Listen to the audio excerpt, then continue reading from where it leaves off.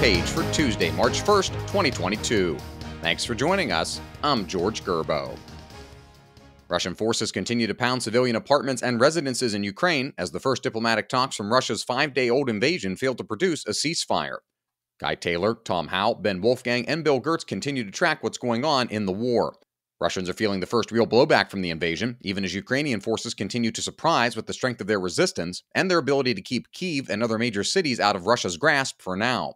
The value of the Russian ruble has plummeted on world currency exchanges as the U.S. froze Russian central bank assets. Desperate Russians lined up to pull cash from ATMs, and even notoriously neutral Switzerland broke from tradition to begin freezing Russian assets. The world continues to harden in opposition to Russian President Vladimir Putin and his unprovoked aggression. The international governing bodies for soccer, Figure skating and hockey have all suspended Russian participation. Russian planes have been banned from flying in European airspace, and state liquor boards across the United States have removed Russian produced products from their shelves. The narrative of a feisty Ukraine holding off a blundering Russian army has taken hold globally, and specialists say the Kremlin's failure to sell its spin on events is beginning to have a tangible impact on the war on the ground. A reminder that you can find all these stories at WashingtonTimes.com slash front page. If you don't have access to the Times yet, you can visit WashingtonTimes.com/george for a special subscription offer.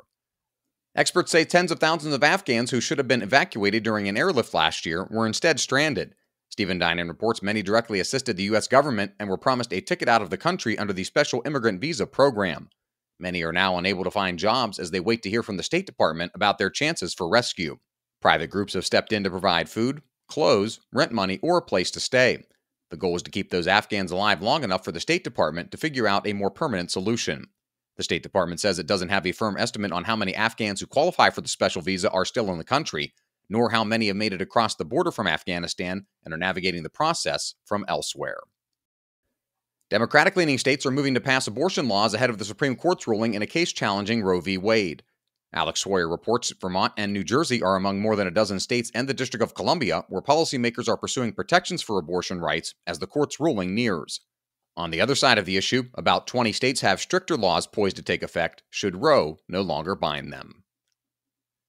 And finally, the long stalled drive for a new stadium for the Washington Commanders is suddenly heating up as officials from Virginia, Maryland, and D.C. take steps to jumpstart the project. Sports reporter Matt Paras reports in Virginia, legislators passed two bills to establish a local stadium authority, a crucial step in luring the commanders to the Commonwealth. Documents connected to the Virginia proposal show plans for a stadium site in Sterling, Woodbridge, or Dumfries. Maryland, however, isn't ready to give up the franchise without a fight.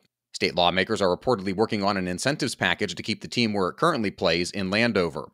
DC Mayor Muriel Bowser has also restated her desire for the Commanders to move back to the city after leaving RFK Stadium in 1997. The team's lease at FedEx Field expires after 2027. Find all of today's front page stories at WashingtonTimes.com slash front page or on the Washington Times app, and find us on any major podcast platform. Just search Washington Times in your favorite podcast app. You can also find us on Twitter and Instagram at Wash Times for breaking news, sports, commentary, and more. For the Washington Times, I'm George.